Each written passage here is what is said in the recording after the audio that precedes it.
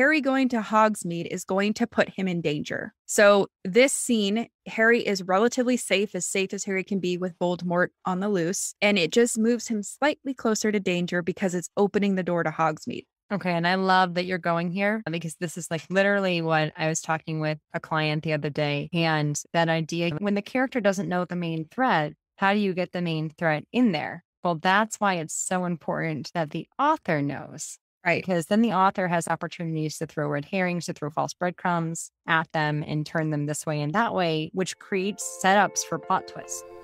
Welcome to the Fiction Writing Made Easy podcast. My name is Savannah Gilbo, and I'm here to help you write a story that works. I want to prove to you that writing a novel doesn't have to be overwhelming. So each week, I'll bring you a brand new episode with simple, actionable, and step by step strategies that you can implement in your writing right away. So, whether you're brand new to writing or more of a seasoned author looking to improve your craft, this podcast is for you. So, pick up a pen and let's get started. In today's episode, we're diving deep into the first chapter of Harry Potter and the Prisoner of Azkaban. And once again, I'm joined by a very special guest, Abigail Perry, who is also a developmental editor, and she hosts an amazing podcast called Lit Match, where she helps writers find the best literary agent for their writing and publishing careers. I will link to her podcast in the show notes, as well as where you can find Abigail around the internet. Now, as you can probably imagine, I'm super excited to share this episode with you today because I'm a huge Harry Potter nerd. That's no secret. You know this by now, right? So, I love Harry Potter, but I also think this is another great example of an opening chapter. And now we're in the third book in the series. So it's really fun to see how Rowling develops not only as an author, but how she develops the opening chapters from book to book. So, in this episode, we're going to look at the first chapter of Harry Potter and the Prisoner of Azkaban, and we're going to analyze it both on the macro level and the micro level. So, basically, why does the chapter work? And then, how does the scene or the scenes within that chapter work? So that's a very quick overview of what we're going to dig into today. You're going to hear more explanation for everything once we get into the episode. So, with that being said, let's go ahead and dive right into the conversation. And I've actually never looked at this one from an analytical standpoint yet, other than in our own private discussions for random scenes. So this will be a fun one to dissect together. And we'll give a little shout out to Renee, Renee Decker, who is writing the masterwork for Prisoner of Azkaban. And yeah, like Abigail said, we have not spent as much time with this one as we have Sorcerer's Stone or Chamber of Secrets. So I'm actually kind of excited to look at something a little more fresh. Before we get into it, we'd like to do a summary of the first chapter of Harry Potter and the Prisoner of Azkaban. So Savannah has written a great summary for us, and I'm going to let her take it away. Yeah, here we go. So, in this scene slash chapter, it's after midnight, and Harry is working on his history of magic essay in the dark under the covers of his bed. The Dursleys are mad at him right now because Ron Weasley called him on the telephone and basically yelled at Vernon through the phone since Ron does not know how to use a telephone. And because of that, Harry thinks this must be why Hermione hasn't been in touch either. So he's had no word from his wizarding friends for five weeks. That being said, there are a few improvements over Harry's last summer in Chamber of Secrets. So, number one, he's allowed to let Hedwig fly around. And number two, he got birthday presents. So, if you'll remember in Chamber of Secrets, he had the worst birthday. And so, three owls deliver gifts from Harry's friends. Ron sent him a newspaper clipping from the Daily Prophet that talks about the Weasleys' trip to Egypt and a pocket sneakoscope that can detect dark magic. Hermione sent him a broom cleaning kit, and Hagrid sent him a book about monsters. He also got his Hogwarts letter that includes a permission slip for trips to Hogsmeade on certain weekends if they can get a parent or guardian's signature great. It's really interesting, this first chapter, because a lot happens in it, but not a lot of loud things happen in it. Mm-hmm. In the other first chapter episodes, what we have done first is we look at the big picture. We use seven key questions to analyze first chapters to make sure that you're doing the things you need to do to hook readers that we look at. So, seven key questions that are taken from Paula Munier's great book, The Writer's Guide to Beginnings.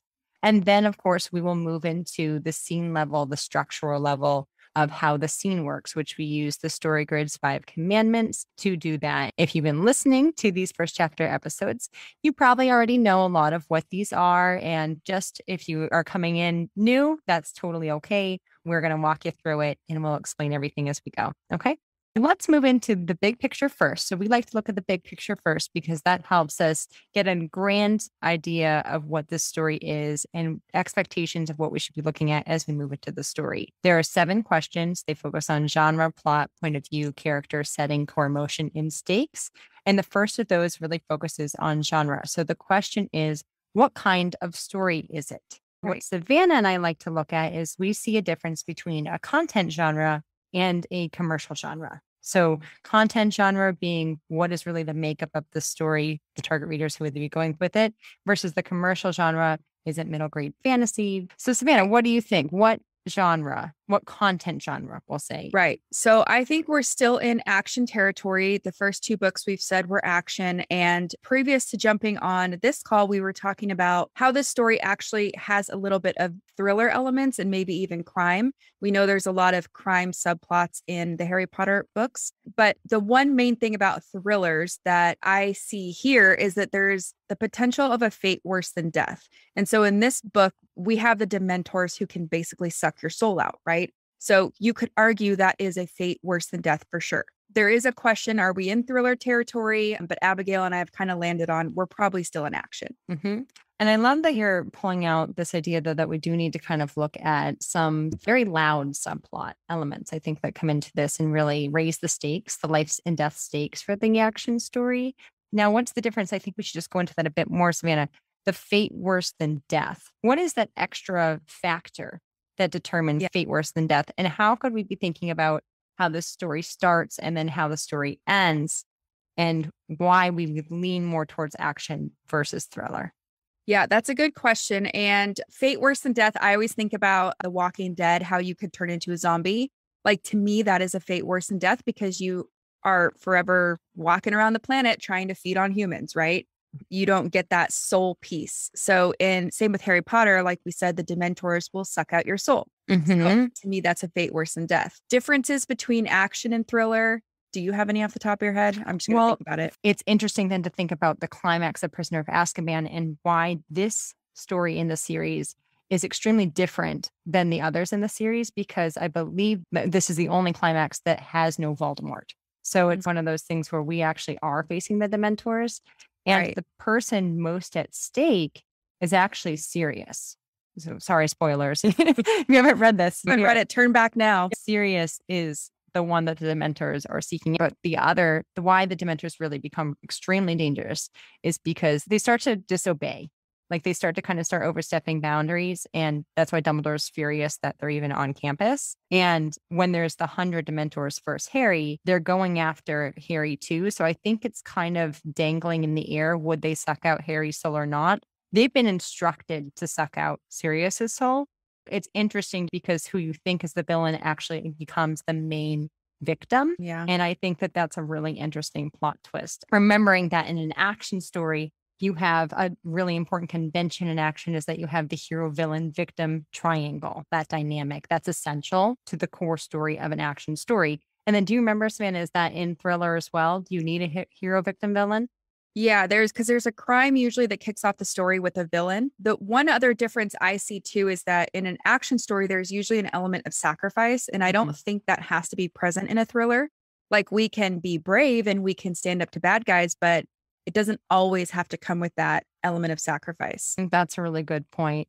And then we always just want to say what's the secondary genre as well, because we are paying attention to the internal arc, the character arc for Harry Potter stories. The action story is interesting, but you only really care about if Harry dies or lives if you like Harry. So it's thinking along the lines of, in addition to what's going on with the action stakes, the life and death stakes, and in the story that's going to be revolved around that with the big picture, how can we also be looking at what his internal arc is, his character arc, and how is that going to be continually complicated and intensified as the story yeah. goes on?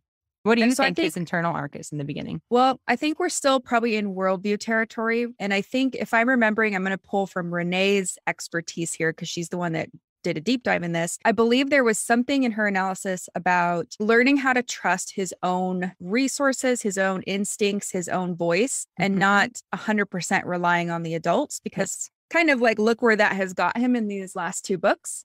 So, you know, that's tested in a lot of ways. It's tested through the relationship with Sirius, first of all, thinking he's a bad guy, learning that he's actually not a bad guy Mhm. and things like that. So Do you think I'd that that probably- is introduced at all in this first chapter? Or do you think that comes in in the later chapter? Well, I think we can say it kind of is because he has to get permission for this for the Hogsmeade trip, right? Mhm. So in a way, it's kind of like he's reliant on the Dursleys to allow him to go. He's reliant on McGonagall to allow him to go. So yeah, I think it's like a little flavor, but it's not quite all the way there. What do you That think? no, I think that's great. I love that you said it's a little flavor because I think that's often what we've seen in books one, two, three. That's really what it's doing with the action story too.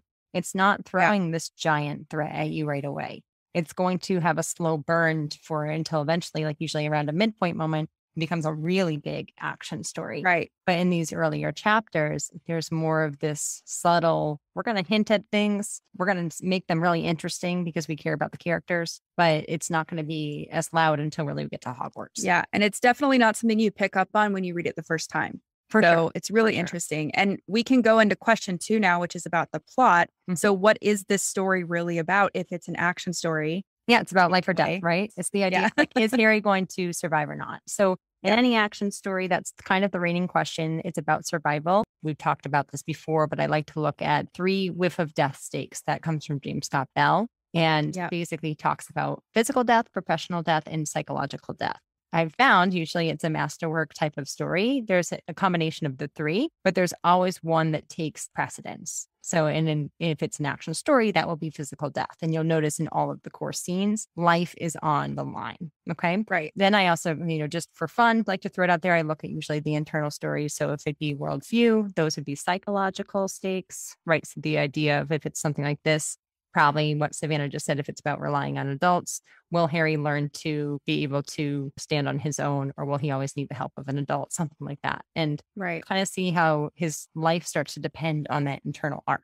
Then I usually throw out just for fun, like a subplot question. That's what I would kind of look at for that idea. And this is interesting because, like you just said, it reminded me of his age. So he's 13 in this book. He turns 13 in this chapter. And that's kind of like eighth grade, going off to high school age. So it's kind of where we do take that step away from being super reliant on our parents. Mhm. And we tr- we want a little more independence. So that's interesting to think about. The other thing I would say about plot is like this is going to be a story about Harry and Sirius Black and the truth about who they are and what their relationship is like. Yes. Sirius Black is not mentioned in this chapter, but he is mentioned in chapter two Mm-hmm. via a news report. And Vernon gets all upset about the details of the news report. But we do see Scabbers in this chapter via the Mhm. article that Ron sends him.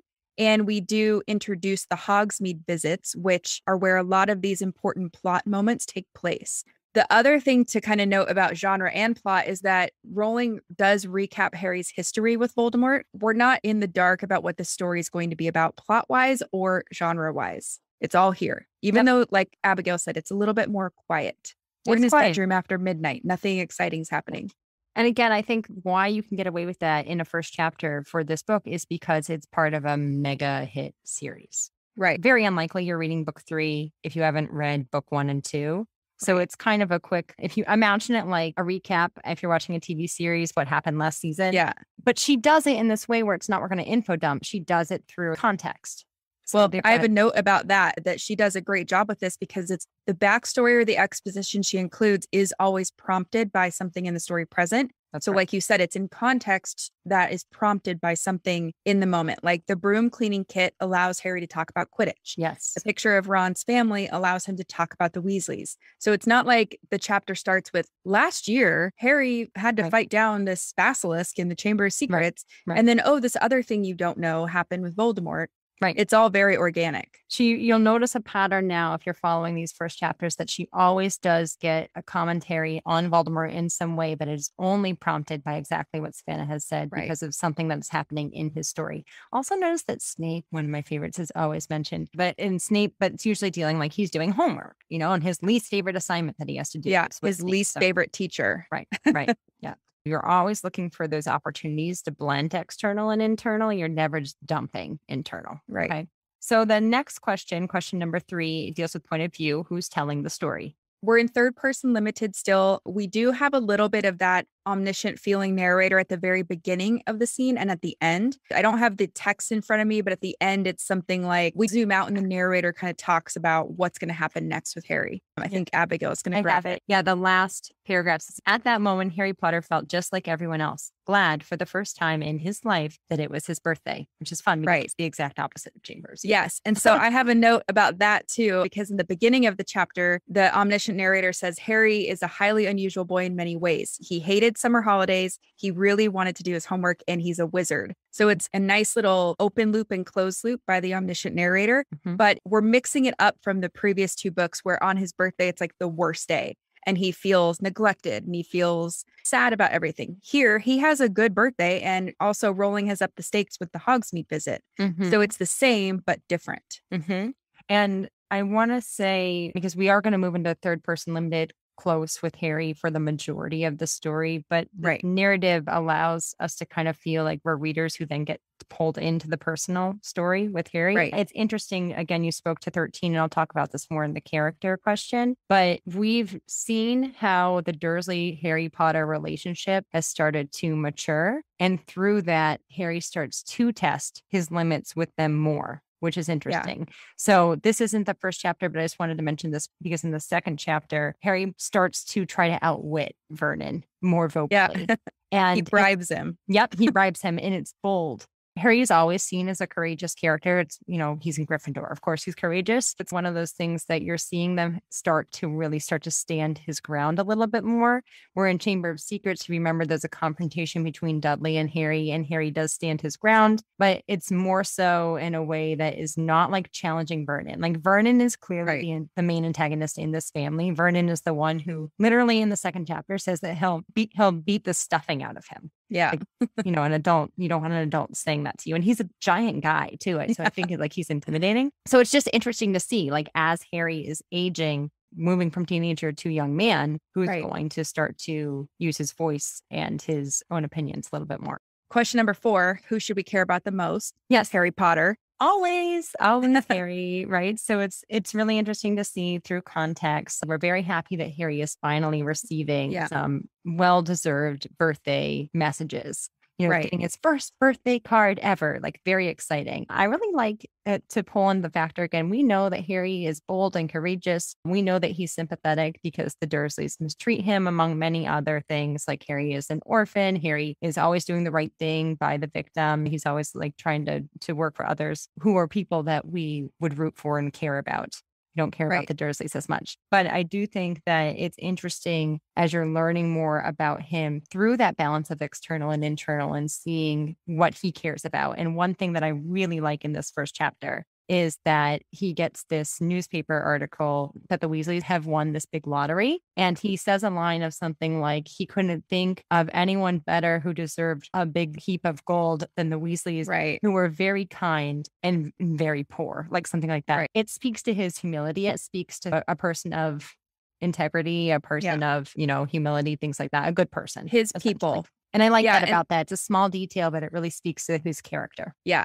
And so you kind of touched on question six, which is core emotion. How should we feel? We feel mm-hmm. happy about what's going on with Harry. We're we're interested in this Hogsmeade thing, but for the most part, we're like, gosh, thank God he had a good birthday. The question we skipped was setting. So where and when does the story take place? We're in Harry's bedroom in Privet Drive. It's his 13th birthday. And the last one is about the stakes. So why should we care about what happens next? Or like, what do you care about? Mhm. And this is what is going to be a great question to move us into the five commandments because Right. it is a soft chapter, right? So there's not a ton, really, chapter two is where we're going to see more of an exciting event happen. In Yeah. this, we're being even like the one of the main encounters in the first chapter is actually seen through retelling a backstory. And it's when Ron tries to call Harry and is screaming into the telephone, and Vernon basically is like, Don't ever call this house again. And no one calls him the rest of the summer. So it's kind of this idea here of basically what the stakes are on an immediate level, but also on a grander level. Let's talk about Savannah real quick because if it's an action story, then we're looking at life or death stakes. Right. If this scene is softer, how do we know it speaks to life and death stakes? Okay, so I have two answers to this, or a question and an answer. So I think we should explain what we mean by softer, And the way that I interpret this or feel it is that the conflict for Harry is more internal. So he's worried about not making noise. He's worried about the book that Hagrid sends him is like flapping around on the floor. He just doesn't want to get caught. What we learned that we didn't mention is he got out of his bedroom one day and he went to the cupboard under the stairs and got his school books and he snuck them upstairs. So he's not supposed to have all this stuff. And if he wakes up the Dursleys, he'll get caught and it'll get taken away. Right. So the, it's all internal for the most part conflict. Whereas in scene or chapter two, scene two, it's more external. So it's we feel more excited. Yes. So that's one thing. Did you have anything to add? No, I I like that. Just that speaks back to the core emotion too, because when it's something is usually action dominated, the core emotion deals with more excitement, and when it's internally right. dominated, we're dealing with more of this like cathartic, like satisfaction type of yeah. emotion. And so the second part, I actually want to pause us on that because I want to talk about the value shift after we go through the five commandments yep, on yep. the life and death scale. Mm-hmm. But as a reader, for me, what I cared about the most in this scene is we already talked about he's having a good birthday, but also is he going to get this permission slip signed? Because yes. we know he's telling us this is important to him and he mm-hmm. wants to do it. And we see, like Abigail said earlier in the second chapter, he's bribing Uncle Vernon to try to get it signed. Yeah. So let's go ahead and move into the chapter and how we break it down. And I like that you've mentioned that because you're going to see in our analysis of the five commandments, a lot of things are happening in the scene in their softer ways. But the main thing that is really going to grab our attention is when the Hogsmeade letter comes in. So kind of looking at like how this is all developed and stuff like that. I like to start with Harry's goal. So like what is he doing when the scene opens? He's trying to work on his history of magic essay without getting caught. This goal puts everything else into context. So the five commandments is a quick recap. We'll explain what each of them are. Inciting incident, I just call it turning point, but some people call it progressive complication turning point, crisis decision, climax resolution. So I'll explain what those are as we go through. But the first one is inciting incident, and that's usually causal, meaning a person causes it, or coincidental, meaning a coincidence causes it. And basically, it's this unexpected disturbance that either establishes a story goal or forces a character to change directions and how they're going to achieve their story goal. So in this case, it opens with a goal, right? Do your homework without getting caught. Right. I find that most scenes do open with a goal because it's not like Harry's sitting there waiting for conflict, right? He's a real human who's in the middle of his life, and we get dropped into that. So his starting goal is to do his history of magic assignment without getting caught. Mhm. Then the inciting incident comes in. And for this one, I had two different options. I landed on one. I'll tell you both. Number one, you could say it's that he realizes he's been 13 for over an hour. Number two, you could say that he sees three owls flying towards his bedroom window. I landed on the owls flying towards his bedroom window because although the realization that he's 13 and he's been 13 for an hour, he knew this, he just forgot. He wasn't Yeah. paying attention. But you said a key word unexpected. It's Mhm. not unexpected that he turns 13 on his birthday. It's unexpected that there's a giant blob of animal flying towards your window that happens to be three owls. What do you think that quick internal reflection of not recognizing that he's been 13 for an hour does for the story? Yeah, that's interesting because we saw in the first two books that he was kind of, you know, tracking the time as it ticked away. And in this one, it's like, okay, he's not so concerned about that anymore because he's got friends, he's got Quidditch, he's got magic, he has schoolwork. So we are seeing a shift. Yeah. Is that Of- what you picked up? His priorities and what he cares Yeah. about. Yeah. And this birthday even ends up better for him. So it's kind of that interesting way. Yeah, it's like So- a mini foreshadowing. I would agree with you on that. It's the owls because it is unexpected. You can even get the sense, like as a reader, whether or not you're analyzing it for analytical to become a better writer or editor or whatever you're looking at it for. If you're just reading it for fun, you can get a sense of like urgency and agency when the owls come. Like something is going to happen here. You know, we're going to have to address something in some way versus like, oh, you know, I, I didn't realize I was uh, 13 for the last hour. Right. It's just not as urgent to me. Yeah. And the owls are fun because if you remember from book two, that first chapter in book two, he saw eyes in the bushes and Dobby was on his bed. Mhm. So both of those things were kind of negative in book two. And here we kind of might expect that as readers, like, oh, great. What kind of creatures flying towards a window? And then it's like, oh, surprise, it's birthday presents. Yes. And yes. you know all these owls. yes. Another reason I picked, or we both picked, owls flying to the bedroom window, this sets up the next thing he's doing in the scene, right? Is like opening his presents without getting caught. So he's pushing Mhm. aside his schoolwork and shifting that goal slightly to read his mail, basically. And that's the key there, right? Because he's started to shift in some sense. In the last episode, we talked about the difference between beats and scenes, and scenes are a change in value, and beats are a change in tactics. We haven't reached, of course, a value shift yet, but this moment, this, uh, you know, causal, it's the owls, causal event is going to start to move some sort of value that Yeah. change, which we'll talk about in a little bit. And if we don't like the word tactic, because I know some people don't like saying, what does a change in tactic mean? Mm. Change in behavior. Sure. Yeah. Even So- better. I like it Yeah. better. Yeah. so that's that's the inciting incident and then in my head all the presents that he opens act as complications even though they're great things this is another fun thing i wanted to point out because a lot of writers are like but how can i always have bad complications isn't that boring or isn't that Right. melodramatic if the goal is to not get caught and he's opening all these presents in an excited way they become complications even That's though right. they're good Right.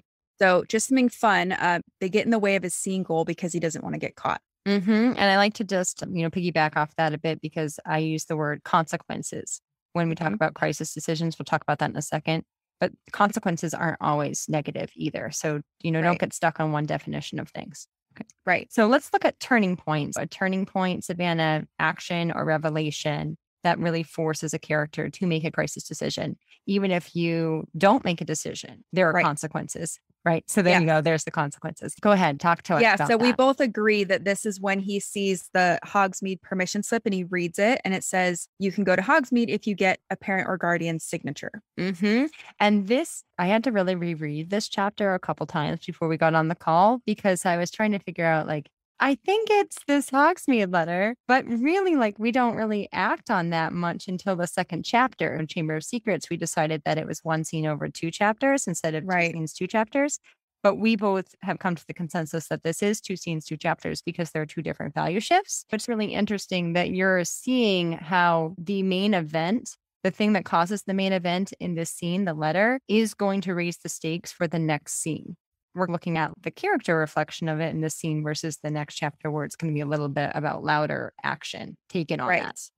yeah and so i want to talk about that more when we get to the end because i have a note on that but Sure. so yeah this is the turning point like abigail said it's that thing that kind of gets in the way of the scene goal and now what is harry going to do Mhm. so that's the crisis what is harry going to do about this is he going to ask his aunt and uncle to sign the permission slip Mhm. and risk getting into trouble or being humiliated or whatever else the Dursleys will make him feel because we know it's not going to be good?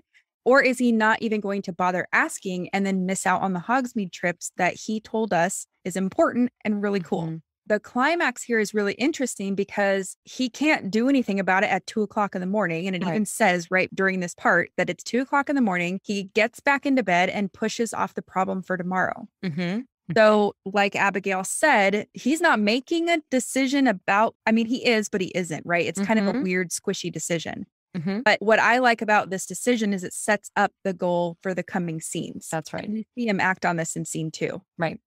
Look at that a little bit closer, kind of looking back at that idea of how a crisis question, the result, the climax, acting on a crisis decision is what causes consequences. You can see here, what do you think the consequences would be? If his decision is, I'll deal with this tomorrow, which is kind of interesting because it's like Vernon's decision in the first Yeah. book. I'll deal with this tomorrow. What consequence do you think that leaves him with in the resolution? Well, and this is interesting because you also have to remember let's pretend this scene was happening at two o'clock in the afternoon. This It's scene diff- would not work and it would be boring because you're like, okay, Harry, like, why can't you go ask Vernon now? Why are you being such a wuss? Right. He can't really go act on it now because it's two o'clock in the morning. When you're thinking about writing your own stories, if you have, like, because I see a lot of writers who are like, they have weak crisis moments like this. If it was two in the afternoon and he just is like, I don't want to deal with it, that's Mhm. not interesting. So the Mhm. way that Rowling made it interesting was this happens in the middle of the night when he's trying to be quiet and do his homework. That's one thing to note. Your question was what are the consequences? Is that he has to deal with it tomorrow And he's anxious and- about it. and he's yeah, he's going to be anxious about it all night and then in the next chapter we learn that Aunt Marge is coming to visit. So Mhm. it's like his that's, you know, his goal on some level is to deal with it tomorrow Mhm. and then here comes Aunt Marge. Yeah. So And to now look at the five commandments in a row, because we started with goal and we want to see how have we moved in a value shift in a way to accomplish this goal or do we Right. not accomplish this goal? So you just to recap, you said that the main goal that we started with started before the inciting incident And it was really to do homework quietly without getting caught because he smuggled these books under Vernon's nose. What value has changed now from the inciting incident to the resolution of the scene? And how does that still speak to how we moved closer to or further away from our goal or our new yeah. goal? This is going to be my favorite part of this whole conversation, but let me just quickly read you what I put for the resolution. So, in the text, it actually says that he feels just like everyone else, glad for the first time in his life that it was his birthday. So that's kind of the vibe at the end of the scene, right? Normally, we look at things through three different levels too. So we could talk about the three value shifts. From the reader's perspective, we're just, we're kind of feeling the happiness that Harry feels, right? Mm-hmm. He got his Hogwarts letter, he got presents, you know, we're feeling the momentum that the story has started from Harry's perspective, it was kind of just another birthday, wasn't expecting much because why would he after the last two years? And then he gets presents. So he's kind of feeling the same sense that the reader is, but also that little bit of dread because now I have to go ask Vernon to sign my permission slip. So those are kind of like the two things that readers would see and that Harry's feeling because he does not know the danger that's coming up. But if we were Rowling, we would know Harry going to Hogsmeade is going to put him in danger. So, this scene, Harry is relatively safe, as safe as Harry can be with Voldemort on the loose. And it just moves him slightly closer to danger because it's opening the door to Hogsmeade. Okay. And I love that you're going here uh, because this is like literally what I was talking with a client the other day. And that idea when the character doesn't know the main thread, how do you get the main thread in there? Well, that's why it's so important that the author knows Right. Because then the author has opportunities to throw red herrings, to throw false breadcrumbs at them and turn them this way and that way, which creates setups for plot twists. You're just right. giving yourself opportunities to create plot twists. I'm a huge advocate for really know your outline. You need to know the end of your story before you write. I know that there are pantsers out there. I know that that works for some people, but the majority of us really need to know where we're going, you know, and, and your genre. Yeah, in your genre, right? Yeah. Because that's going to give you the opportunities to create those big moments that are going to speak to your target audience and what and your target right. readers and what they're going to enjoy. So and, thinking about that with Rowling, right? With thinking about like she knows that Hogsmeade is going to be a big danger. It's interesting that she throws even that letter out before we hear about Sirius in the background in the news, right? In the second right. chapter. Yeah. And it's the other thing I wanted to add on to what you said a minute ago is that knowing your genre and knowing your outline is going to help you not write scenes that go nowhere or that don't mm-hmm. because this could have very easily been a scene at breakfast where it's like introducing Harry and, and writers are always like, but this is just introducing his normal world. That's all I need to do. And it's like, yeah, but look how Rowling did it and included that doorway into the main plot. One of the things that I'm continually mesmerized with J.K. Rowling and her writing and her ability to storytell in general is that no sentence is wasted. Like it yeah. blows my mind every yeah. time that I read Harry Potter. Oh my gosh, literally, no sentence is wasted. Everything yeah. is valued in some way to a greater picture story. And I guess that's why you can consider her a master plotter, right? So like she. I and then it's curious to think about like, you know, do you need to know the whole series before you write each book in the series or can you just focus on the story if you know the end yeah. of the series? Well, and that's so I work with a lot of fantasy sci-fi writers who are doing series and I know that Rowling was a big planner and I remember reading something where she she said she knew the ending. Mm-hmm. And for me with the writers I work with, I'm like as long as we know who the main antagonist is, so in this case it's Voldemort and usually with the writers I work with we talk about what are what's his or whoever your antagonist is, what's their overarching goal for the series? How are they going to take them the steps to get there? And then kind of we layer in the protagonist to that. So usually it's not like we know how every book is going to go and we don't have outlines for everything, although you can make that, but we need to know who the main antagonist is, what they're doing and why. Mm-hmm. And then what are they going to do to actively achieve that right. goal over the and, series. And usually that goal has to directly conflict with the protagonist goal. So like right. that's why like they come kind of become shadows and lights, like they're kind of right. replicas of each other in opposite ways. It's interesting to think about this first chapter too, and the idea of Hogsmeade being this central setting. It's going to be in a crucial setting for this story. It's also interesting to think about how now going back to the dynamics and the stakes and where they are at the beginning of the story, moving into that idea of anxiety in the second chapter, Harry is probably feeling through, through the night because he realistically knows that asking Vernon for permission will end in a no. Yeah. Like there's no way Vernon wants nothing to do with anything magical. He sees it as a disgrace. So yeah. he can't ask him, like, but he has to ask him. Yeah. So now what the second chapter really becomes interesting about is he has to find a way to give a leg up on Vernon to create a bribe in some way. I think this is one of my favorite examples of how a scene that seems so average and so like catching readers up on what's happened in the last two books does play on those global stakes. And the details that are in there are interesting too. You know, Yeah. I think just also what Rowling really did that was smart. If you are writing a series with multiple books, she always turns the head. She makes you Yeah. create assumptions and expectations because of previous books. So, you know, Right. book one and book two, we're expecting a climax with Voldemort. But in this book, we have a climax that involves the Dementors and Sirius Black. Right. I think it's brilliant that she throws Scabbers in a photo in the first chapter. Right. And, like, And that is, I have a note Sirius- on that. Yeah, go ahead. Yeah. So I took a note that it's funny that Ron in his letter to Harry says that Bill, his brother, says the sneakoscope that he sent Harry doesn't work properly Yep. because it kept lighting up during dinner. And then Ron tells Harry, well, it's probably because Fred and George were there. And so as readers, we believe this because why wouldn't we? It's plausible. I have two things to say about this. So one, I see a lot of writers who they'll write something like this and then they go, and that's weird. It's like, hey, there's something weird happening here. But Rowling is so good at this because she says, Hey, something's here. I'm going to tell you why. Here's a believable reason. But then, really, here's your first clue that Scabbers is actually Peter Pettigrew, Yes. the wizard who betrayed Harry's parents to Voldemort. And just to put on another layer onto why Rowling's really good at this is sometimes she tells the truth and sometimes she does not. So, Yeah.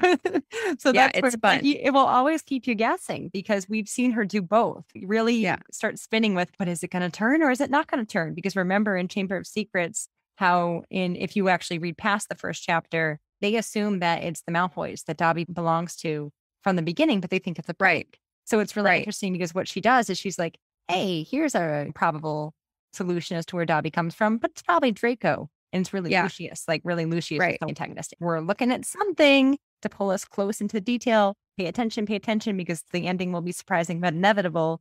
She's we can really good at misdirection. And the other thing I just remembered because you were talking about how Hogsmeade becomes the main setting. Think Mhm. about how constricted we were in Chamber of Secrets. Yes. The monster was in the bottom of Hogwarts. So we were really in Hogwarts. It was very Hogwarts focused. So it's kind of fun that we're adding in this new element. The other thing I wanted to say, because we know this is middle grade, kind of getting into that young adult section, right? Yes. Yeah. Um, we should talk about that. Mhm. So I thought there was some fun humor bits. Vernon's always a source of humor and how Harry talks about him. But also, like the topic of Harry's essay is Mhm. witch burning in the 14th century was completely pointless. Discuss. So it's like just these little things that highlight the humor for the middle grade reader, even if they're like not totally getting it, you know. And I love how, you know, it was really funny because I was doing, I read it and then I did the audiobook version on, Yeah. on a walk earlier today too. And the actor who does the readings and the audiobooks is fantastic. But it was so funny because that line came up and immediately caught my attention because, of course, we do know in real life there was witch burning. Yeah.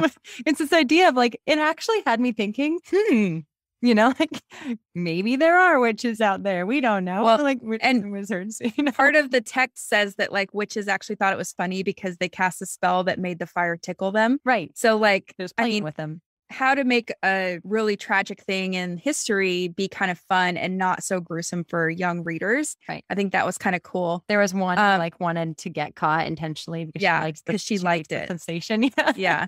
and the other thing that I noticed in this chapter, I don't know if this was on purpose, but if it is, it's like the coolest thing. So Vernon tells Harry, don't talk to the neighbors. I can't mm. remember why or when he says it, but that's kind of funny because we know later that Mrs. Figg is his neighbor who's been sent to watch him. It's not what Vernon meant, don't talk to the neighbors, but it's also kind of like a nod, don't talk to the neighbors because she's actually not supposed to talk to you either. I like that there's irony in the fact that Aunt Petunia is obsessed with gossip and spying on people, but realistically, the wizard community is constantly spying on Yeah, her. they always know what she's up to. yeah. This whole book has one of my favorite examples of red herrings ever. So Mhm. it's so cool if you read the first chapter through that lens and you just see the little nods. And even in chapter two, we deepen the little nods. And throughout the whole thing, there's misdirection and true clues and all the fun stuff. And all these great setups in the sense that I know when I was reading it, I probably wouldn't have even, you said before, you don't even think twice about it. As No. soon as she explains the sneakoscope is probably due to Fred and George, who do pranks all the time, you Yeah. don't even think about it. But It's funny. Right. But when it comes out that it actually had purpose, it's, that's why it's the surprising but inevitable ending because it's been purposely planted in this. Yeah. And Speaking of that, I remember the first time I read this. So I read, I was literally the same age as Harry every time I was reading a new book. And I remember the way she set up Percy Yeah. and how there was like that vibe about Percy. I was Mhm. like, wow, it's a sneakoscope going off because Percy's the bad wizard. Or if we don't Mm. believe it's Fred, we're not going to be thinking of Ron's rat. You know, we're going to be looking at people.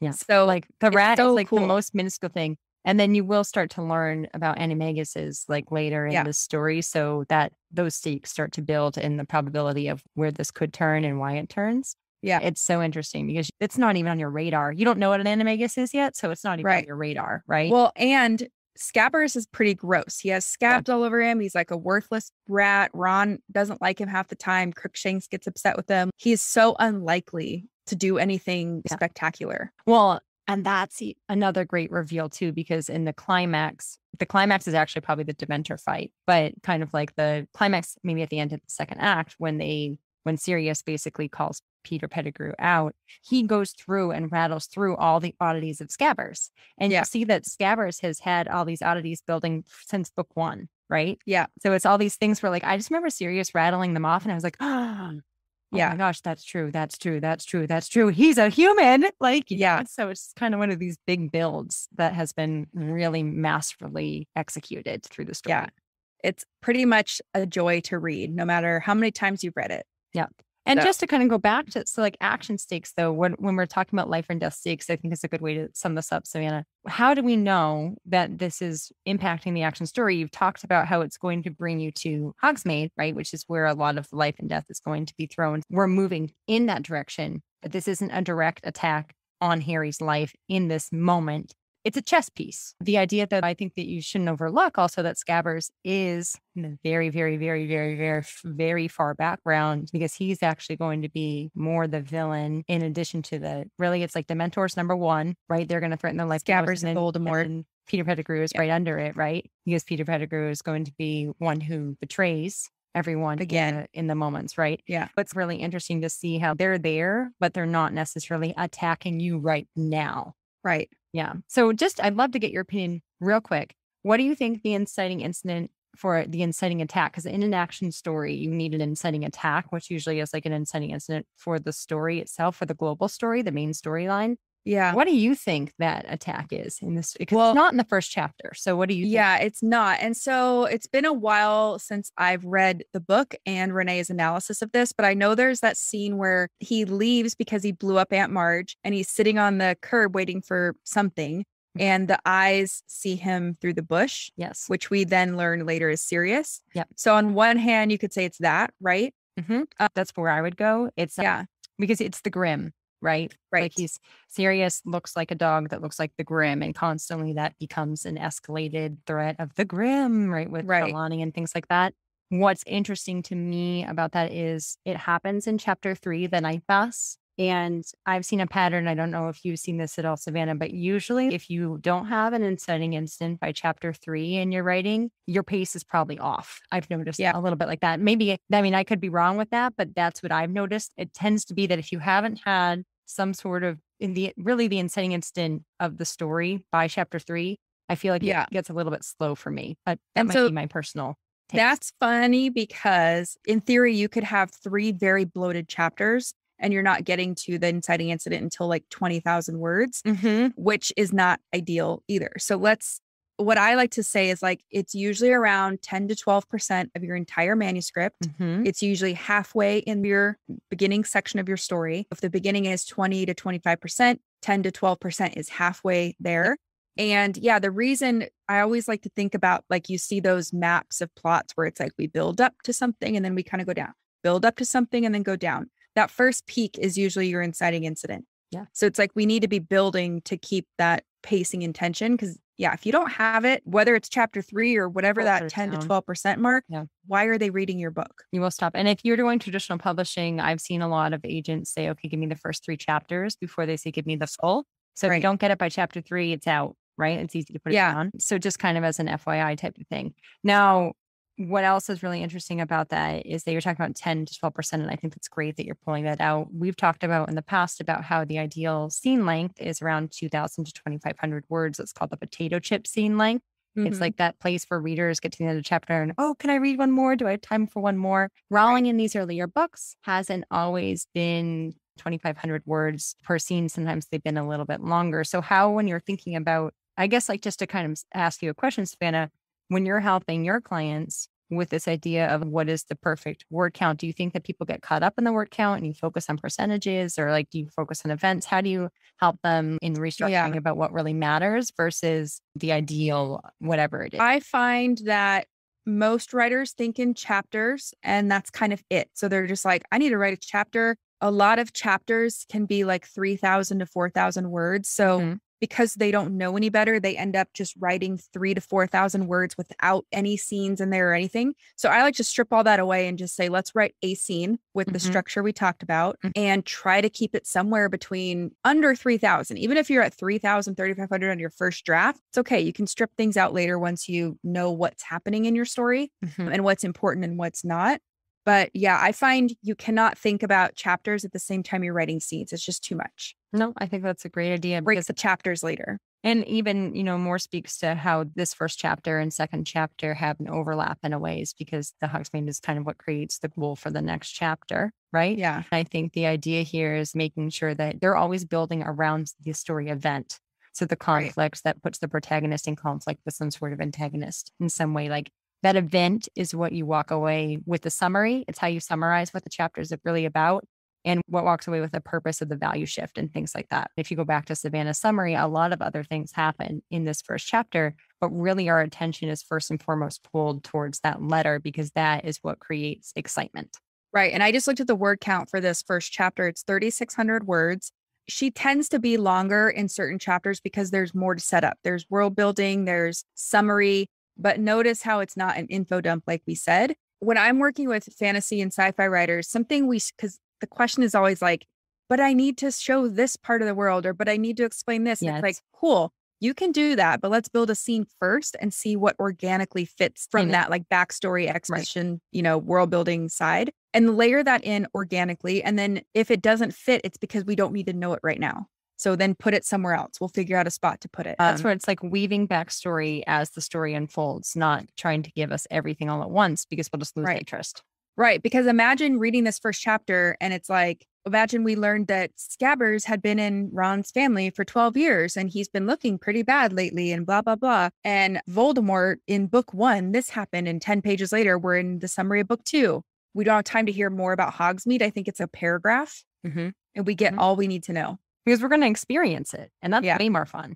Right. Yeah. Well, that is a great analysis. Thanks, Savannah. I always love asking you questions. You always teach me something when we hop on our So fun. It's the great. So fun. so great to have you in my corner and for everyone to be able to listen to you. It's just wonderful, wonderful. That's the overall analysis of this first chapter for Harry Potter and the Prisoner of Azkaban. We'll move on to Harry Potter and the Goblet of Fire, book four, in a future episode. So stay tuned for that. But until then, can't wait to talk to you. And I thank everyone for listening to us and going through this journey with us. Yeah. Thanks for listening along. And we challenge you now to go look at this chapter and see what you would pull out and just see if you can feel these five commandments. Have fun, and we will see you guys next time. So that's it for today's show. As always, I want to thank you so much for tuning in and showing your support. If you want to check out any of the links I mentioned in this episode, you can find them over at savannahgilbo.com forward slash podcast. And if you haven't done so already, make sure you subscribe to the show because there's going to be another brand new episode coming out next week. If you're an Apple user, I'd really appreciate it if you took a few seconds to leave a quick rating and review. Your ratings and reviews tell iTunes that this is a podcast that's worth listening to. And in turn, that helps this show get in front of more fiction writers just like you. So that's it for today's show. I'll be back next week with a brand new episode. Until then, happy writing.